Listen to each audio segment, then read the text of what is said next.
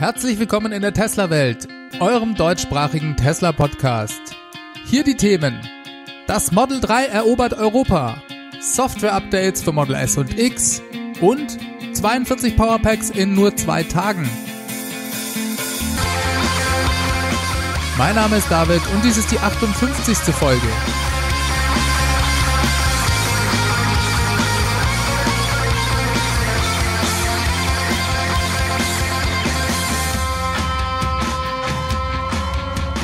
Ja, herzlich willkommen zurück zu einer halben Stunde News rund um das Thema Tesla. Ich freue mich, dass ihr auch diese Woche wieder mit dabei seid und Zeit gefunden habt einzuschalten. So, inzwischen ist es passiert. Ich habe mein erstes Model 3 in freier Wildbahn gesehen. Erst letzte Woche habe ich mich ja noch bei euch beschwert, immer noch keins im Straßenverkehr gesehen zu haben und prompt habe ich in der vergangenen Woche gleich drei Stück gesehen. Eins in Düsseldorf auf der Kö, eins in Mülheim an der Ruhr und eins beim Laden bei der Metro in Düsseldorf. Dort konnte ich mich auch gleich mit dem frisch gebackenen Model 3 Besitzer unterhalten. Der hatte das Fahrzeug erst zwei Tage vorher bekommen und gehörte damit also zu den Kunden, die ihr Fahrzeug während der großen Auslieferungswelle am Ende des Quartals entgegengenommen haben. Das Quartal ist ja inzwischen beendet und Tesla hat hier mal wieder alle Register gezogen. Leider sind die deutschen Zulassungszahlen für den Monat März vom Kraftfahrtbundesamt noch nicht veröffentlicht. Da müssen wir uns noch ein paar Tage gedulden. Aber was man so von Kunden und von Quellen bei Tesla aus den Service Centern hören konnte, so ging es hier in Deutschland richtig zur Sache. In anderen Ländern, wie der Schweiz oder auch Österreich, sah es nicht viel anders aus. In Österreich hört man von ungefähr 752 ausgelieferten Model 3 das ist schon echt gut für diesen relativ kleinen Markt dort. In den Niederlanden war das Model 3 selbstverständlich das meist zugelassene Elektroauto. Aus Schweden hört man auch, dass dort über 1000 Stück im Monat März geliefert wurden. Am krassesten sind jedoch die Norweger abgegangen. Dort haben voll elektrische Fahrzeuge 58% Marktanteil im März erreicht. Und wenn man Plug-in-Hybride noch dazu rechnet, waren es sogar 69 Prozent. Dadurch werden Verbrennerfahrzeuge in Norwegen zur Minderheit und das Model 3 stellte dort alles andere in den Schatten. Es wurden in Norwegen 5305 Model 3 registriert. Zusammen mit den Fahrzeugen, die in den letzten zwei Februarwochen geliefert wurden, erst seit da liefert Tesla das Model 3 ja überhaupt in Norwegen fahren jetzt also 6113 Model 3 in Norwegen umher. Damit katapultiert sich das Model 3 auf Platz 10 der meistverkauften Elektroautos in Norwegen und das mit nur eineinhalb Monaten Auslieferungen. Das ist schon sehr beeindruckend. Auf Platz 9 finden wir zum Beispiel den Hyundai Ioniq mit knapp über 7000 Fahrzeugen. Tesla fehlen da nur noch 930 Model 3 um ihn zu überholen. Wenn ihr das hört, ist der Stand auch schon wieder veraltet. Die Zahl ist Stand 31. März. Der Ionic wird aber dort schon seit Jahren ausgeliefert, genauso wie die anderen Modelle in diesen Top 10. In dieser Liste befinden sich übrigens auch das Model S und das Model X. Schaut man sich die Gesamtzahl der von Tesla im Monat März gelieferten Fahrzeuge, also inklusive Model S und X an, so erreicht Tesla in Norwegen mehr als 50% Marktanteil, was Elektrofahrzeuge angeht. Und nachdem diese ja 58% aller Neuwagenzulassungen ausmachen, hat Tesla in Norwegen mehr als 25% Marktanteil. Das muss man sich mal auf der Zunge zergehen lassen. Das heißt, Tesla hat in Norwegen damit also mehr Elektroautos verkauft als alle anderen Hersteller zusammen was das Model 3 angeht, so beschränken sich die Rekorde aber nicht nur auf das Marktsegment Elektroautos. Nein, fast noch wichtiger ist die Tatsache, dass das Model 3 auch die Verbrennerkonkurrenz aussticht und dieser auch merklich Marktanteile abjagen kann. So gab es in dieser Woche Zahlen von dem Marktforschungsunternehmen Jato Dynamics. Diese bezogen sich allerdings auf den Monat Februar, wo das Model 3 ja eigentlich nur zwei Wochen lang de facto ausgeliefert wurde. Aber selbst da hat Tesla mehr Fahrzeuge in Europa absetzen können als zum Beispiel Mercedes mit der C-Klasse oder auch Audi mit dem R4 oder sogar auch BMW mit der Dreier-Serie. Tesla hat da rund 31% Marktanteil im Segment der Premium-Limousinen erreichen können. Die C-Klasse kommt auf 29%, der A4 auf 14 und der 3er BMW auf nur 13%. Letzterer hatte im Vergleichsmonat Februar 2018 noch 24% erreicht, hat also massiv gelitten.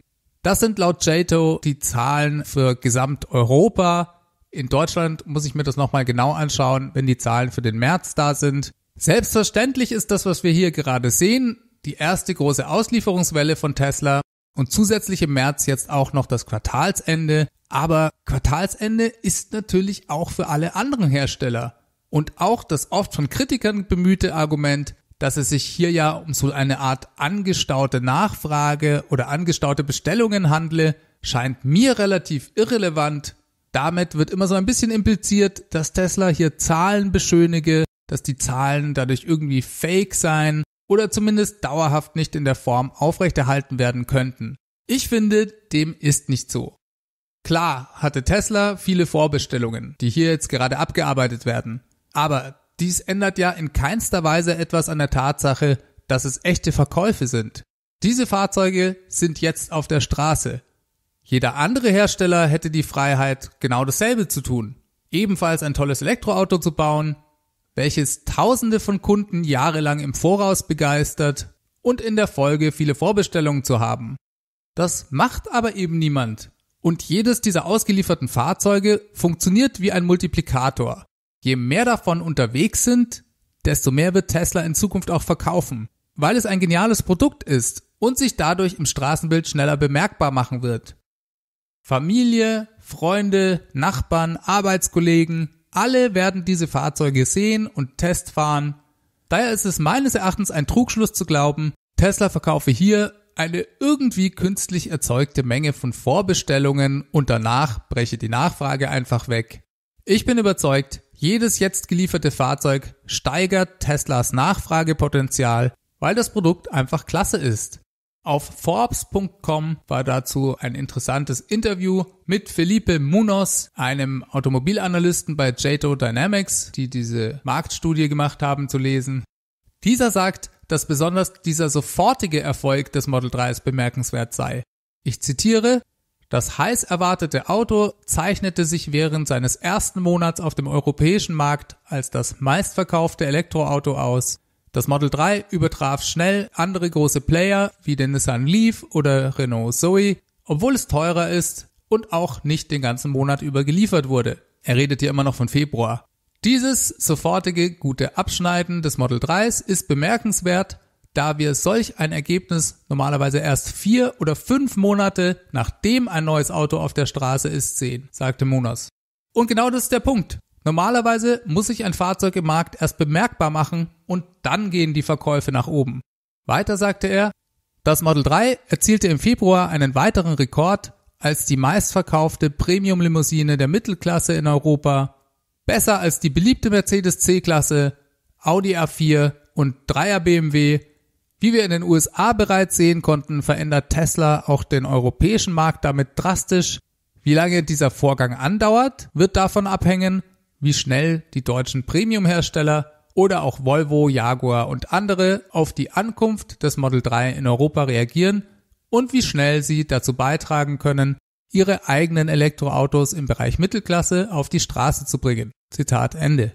Und diesen letzten Teil finde ich sehr interessant, weil er im Prinzip sagt, dass das Model 3 ab jetzt in dem Marktsegment der Verbrenner Premium Limousinen der Mittelklasse wildern wird, solange bis die Hersteller mit adäquaten eigenen Elektroalternativen um die Ecke kommen. Das heißt, dass sie selbst mit neuen, verbesserten Verbrennern nicht dagegen ankommen werden. Die Antwort kann nur elektrisch sein und solange sie da keine Antwort haben, wird das Model 3 hier das bisherige Marktgefüge durcheinander bringen. Wenn das so zutrifft, sicherlich keine guten Aussichten für Mercedes, BMW und Co. Denn die bisher vorgestellten ersten vollelektrischen Autos sind alles hochpreisige SUVs, alles andere dauert noch ein paar Jahre.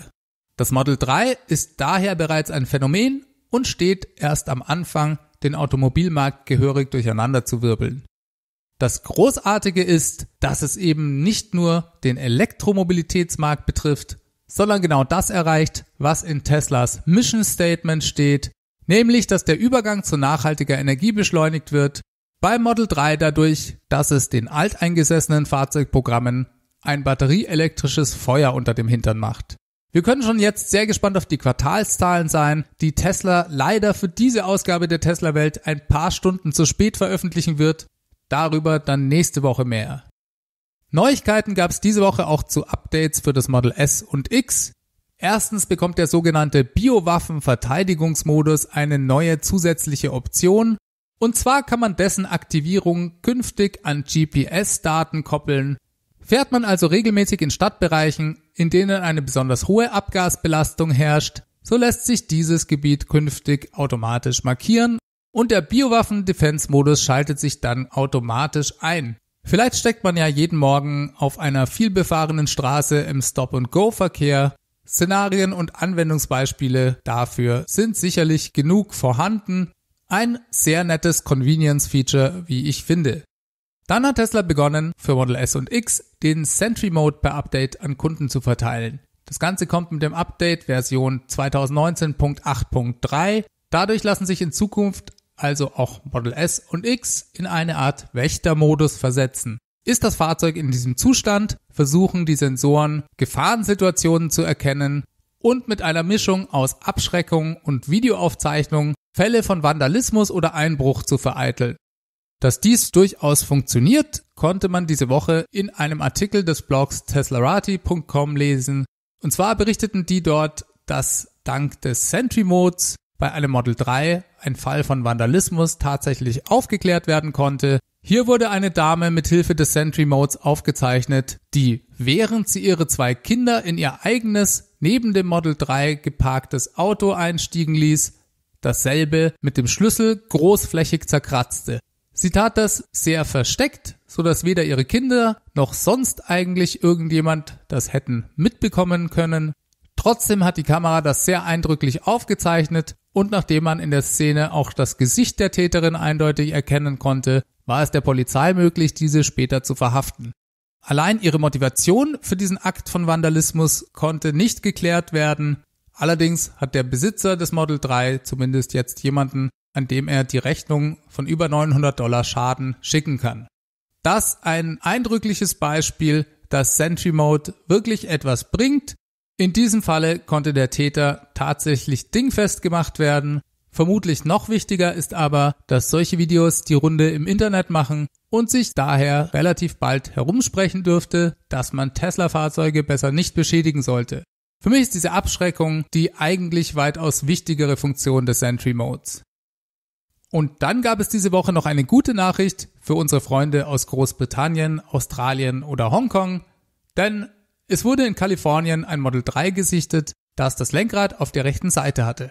Elon Musk hatte im März 2018, also schon vor sehr langer Zeit mal angekündigt, dass sie mit der Produktion von diesen Fahrzeugen vermutlich Mitte 2019 anfangen wollen und dass solch ein Testfahrzeug in der Öffentlichkeit gesichtet wurde, darf man doch zumindest als positives Zeichen werten, dass es hier vorangeht. Denn seit Elons Tweet damals hatte man nicht mehr viel darüber gehört, Lediglich im März 2019 gab es einen Artikel auf cleantechnica.com, der darauf hinwies, dass unter den registrierten Fahrgestellnummern von Tesla zwei Fahrzeuge dabei seien, die vermutlich mit einem Lenkrad auf der rechten Seite ausgestattet sein dürften.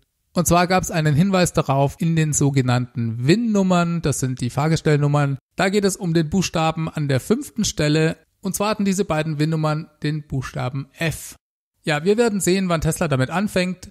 Den vielen Model 3 Reservierungsbesitzern in Großbritannien oder auch Australien wäre es ja wirklich zu gönnen.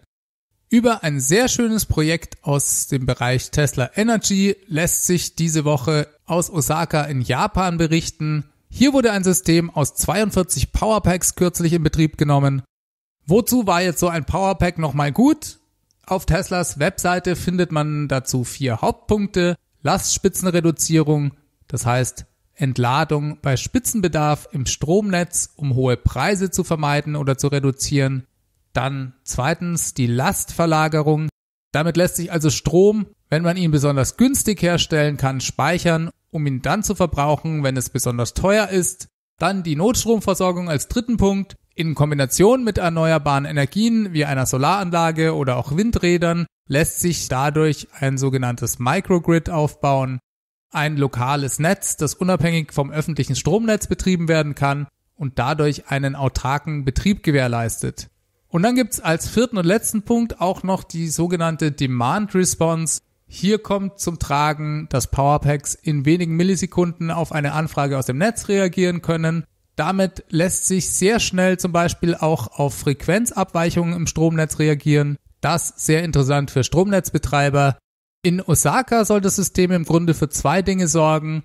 Einerseits soll die Energieversorgung von Zügen im öffentlichen Nahverkehr sichergestellt werden, falls es zu Schwankungen im Stromnetz oder gar Stromausfällen kommt. Züge können dank des Systems dann auch bei Stromausfall noch zum Bahnhof weiterfahren. Die Passagiere sitzen dementsprechend nicht stundenlang im Zug irgendwo auf der Strecke fest. Des Weiteren soll auch die Energienachfrage in der Stadt in Stoßzeiten reduziert werden und damit das Stromnetz in Osaka generell entlastet werden. Das Powerpack ist ja der Energiespeicher von Tesla für den professionellen Einsatz. Ein Powerpack besteht aus 16 einzelnen Batteriemodulen und insgesamt kommt Tesla damit auf 210 Kilowattstunden Speicherkapazität pro Powerpack bei einer Leistung von 50 kW ebenfalls pro Powerpack. Davon wurden also 42 Stück in Osaka installiert und das Besondere daran ist, dass Tesla das in nur zwei Tagen geschafft hat. Eine Rekordzeit, um solch ein großes System in Betrieb zu nehmen. Die Tesla Energy Sparte ist in der Vergangenheit stark gewachsen. Auch hier geht Tesla weiterhin von einem exponentiellen Wachstum aus. Wurden 2017 in Anführungszeichen nur 358 Megawattstunden Kapazität installiert, so lag Tesla bereits 2018 bei über einer Gigawattstunde 1.04 Gigawattstunden, um genau zu sein. Und das, obwohl das Model 3 Programm der Tesla Energy Sparte Batteriekapazitäten streitig gemacht hat. Elon Musk hat immer wieder auch erwähnt, dass die Tesla Energy Sparte das Automobilprogramm bei Tesla eines Tages überholen könnte. Es gibt für Tesla hier also sehr viel Zukunftspotenzial. Kommen wir mal zum Thema volles autonomes Fahren. Besser gesagt zur neuen Tesla Hardware dafür. Tesla baut derzeit ja an seinem ersten eigenen Chip, der als Basis für das volle autonome Fahren gilt. Elon hat sich diese Woche über die Art und Weise geäußert, in der Tesla plant, existierende Fahrzeuge mit der neuen Hardware 3 nachzurüsten. Er schrieb dazu auf Twitter, jeder Kunde, der das Paket volles Potenzial für autonomes Fahren gekauft hat, wird ein Update der Computerhardware kostenfrei erhalten. Das hat er schon öfters gesagt, und machte hier aber nochmal eindeutig klar, dass dies für alle Fahrzeuge ab Hardware 2 gelte. Elon schrieb weiter, dass der neue Computerchip der einzige Unterschied sei, den es zwischen der aktuellen Hardware 2.5 und der Hardware 3 geben werde. Keinerlei Änderungen werde es an Sensoren oder Kabelsträngen geben. Das laut Elon ein sehr wichtiges Detail.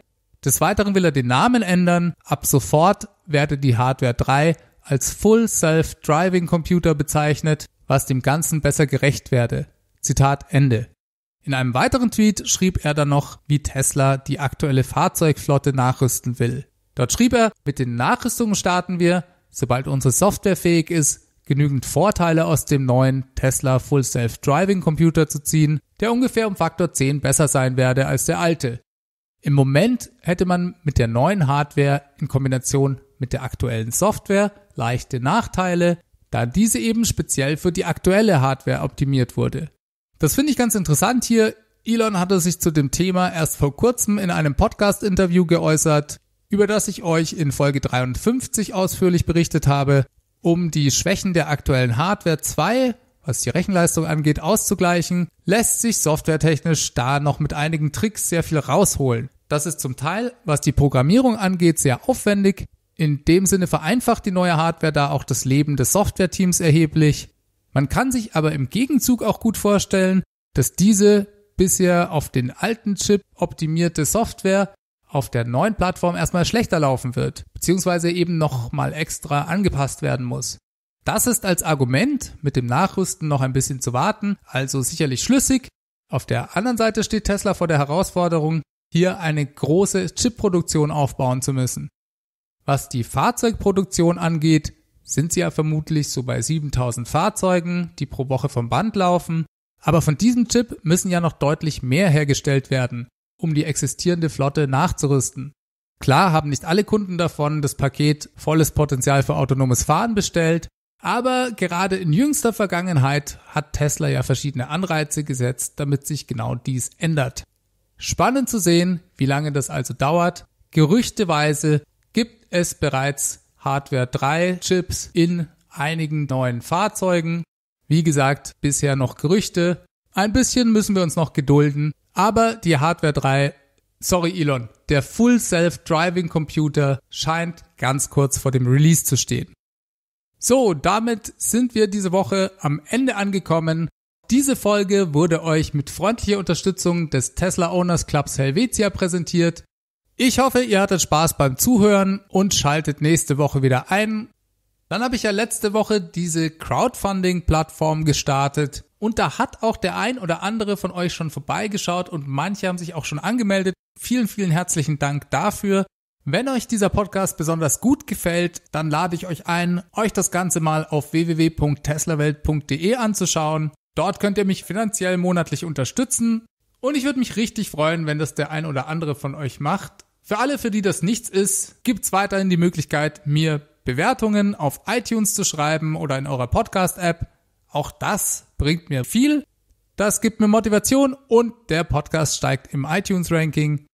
Für Fragen, Feedback, Anregungen gibt's die E-Mail-Adresse feedback at teslawelt.de. Alternativ könnt ihr auch einen Audiokommentar aufnehmen, einfach mit dem Handy und dann per E-Mail schicken. Oder ruft die 0211 9763 2363 an und hinterlasst mir dort eine Nachricht. Auf Twitter findet ihr mich at teslawelt. Ich wünsche euch allen eine ganz gute Woche. Macht es gut. Bis die Tage. Ciao, ciao.